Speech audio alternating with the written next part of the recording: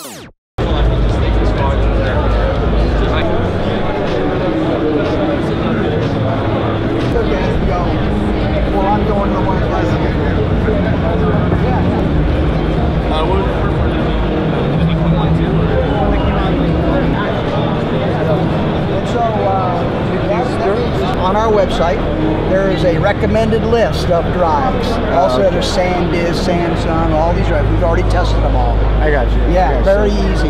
It keeps your costs down.